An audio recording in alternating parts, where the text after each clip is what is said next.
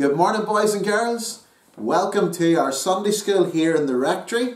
Now, boys and girls, this week I've got a couple of tasks for us to do because next Sunday is Children's Day. Now, I know it's going to be very different than the way we normally do Children's Day in that we're not in church, but we're still going to try and do our service online. So, I'm going to need your help. Now, boys and girls, over this last number of weeks, we've been thinking about a book in the Bible that was written by St. Paul. I wonder, can you remember the name of that book? That's right, it's the book of Philippians. And also last week, I gave us a couple of tasks. One was a memory verse. Can you remember what it is? It's from Philippians chapter 3 and verse 14, where Paul writes, I press on toward the goal to win the prize for which God has called me heavenwards in Christ Jesus. Could you remember that? Well, anyway, the other thing I gave us the task to do was to draw a picture and to take a photograph of it and send it to us that we could send to someone that's maybe lonely in their own home or in a nursing home or someone that we think might just need cheered up. So thank you to those who have already done that and sent it through. There's still time to do it. Now, this morning, boys and girls, we're not going to think about Philippians. We're going to leave that for another week. But we're going to think of a little verse from Luke chapter 11. And it's verse 1. Luke chapter 11. And it says this. Let me read it to you from my Bible. One day, Jesus was praying in a certain place and when he finished, one of his disciples said to him, Lord, teach us to pray, just as John taught his disciples. And you know, boys and girls, straight after this, the Bible tells us, Jesus said to them, When you pray, say this Father, hallowed be your name, your kingdom come. Give us each day our daily bread. Forgive us our sins for we also forgive everyone who sins against us, and lead us not into temptation. Now, boys and girls, we know that prayer, don't we? Because we say it every week in Sunday school when we're in the hall. It's called the Lord's Prayer. That's right, the Lord's Prayer. Now, boys and girls, as we think this morning about how the, the disciples asked Jesus, Lord, teach us how to pray, this is where I've got a task for you. I need you to get yourself a sheet of paper. Just any sheet of paper or card, something that you can draw on and something that you can cut out. Now also, over this last couple uh, this last couple of months, we've heard a lot about our hands and the importance of washing our hands. Now, boys and girls, I'm going to teach us this morning how we can use our hand to teach us how to pray. So, what I need you to do, boys and girls, is get your sheet of paper, put it down on the table, set your hand on it, and draw around it. Okay? Draw around your hand, and you can see, I hope that I've already drawn around this hand, my hand. Now, this is where you'll need some help, boys and girls. Get your mum or dad or somebody older to help you to get a pair of scissors and cut out the shape of your hand. So you're left with this. Okay? You're left with this. Now, I'm going to teach us how to think of this in a way of praying. So what I want you to do is on the bit that's your thumb, on the thumb, I want you to write friends and family.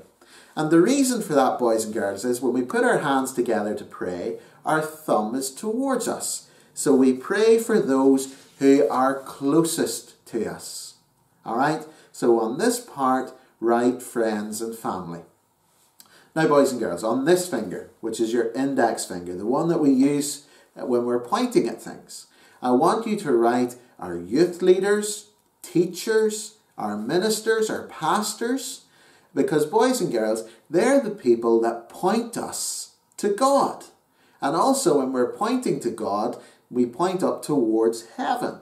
So I want you to write on there you know, your leaders, your teachers, your pastors or ministers or the rector.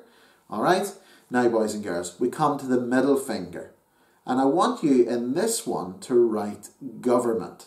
All right? government or prime minister or something like that, because in this finger we're going to pray for our political leaders, for those who are making all the decisions to help us through these difficult days. Then on this finger, on this finger is the finger that we normally place a ring. So if someone's getting married, it's on this finger where they'll put a wedding ring. But you know, boys and girls, that's also the weakest finger of the hand, apparently. And so on this finger, I want you to write the words people in need, because that's when we pray for people's needs, for those who are sick, for those who are lonely, for those who are sad because someone they know has gone to be with Jesus in heaven. Okay? And then finally, your wee finger. And that's where we write myself. And that's where we pray for ourselves. So let me go through that again, boys and girls. Friends and family, our leaders, our teachers, our ministers, our government, people in need, and ourselves. And I want you to write down all those words, and I've already done it on mine. Write down all those words on our hands.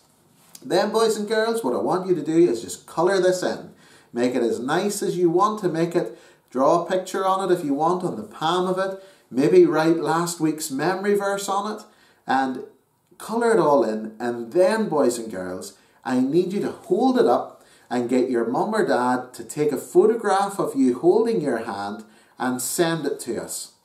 St Andrew's Killyman at gmail.com. Send us it so that we can put it all together in a collage for part of our Children's Day service for next week. So that's the first task. The second task that I have for you for our Children's Day next week is the Lord's Prayer. Now, we all know the Lord's Prayer, the Our Father who art in heaven prayer.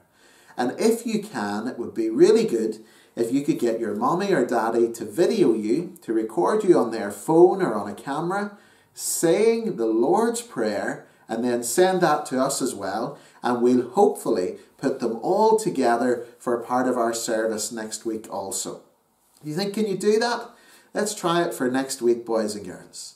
Now we're going to pray, all right? So let me see your hands. Let's put them together and let's pray. And we're going to use the model that we learnt this morning in Sunday school. So, Father, we thank you for our friends and our family. We thank you for our leaders, our teachers, for our ministers, for those who point us to you. We pray and thank you for our government and ask for you to help them in all the decisions that they make.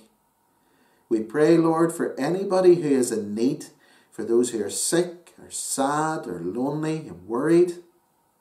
And Lord, we pray for ourselves and ask you to bless us and keep us safe. For we ask this in Jesus' name. Amen. Now we say the Lord's Prayer. Our Father, who art in heaven, hallowed be thy name. Thy kingdom come. Thy will be done on earth as it is in heaven.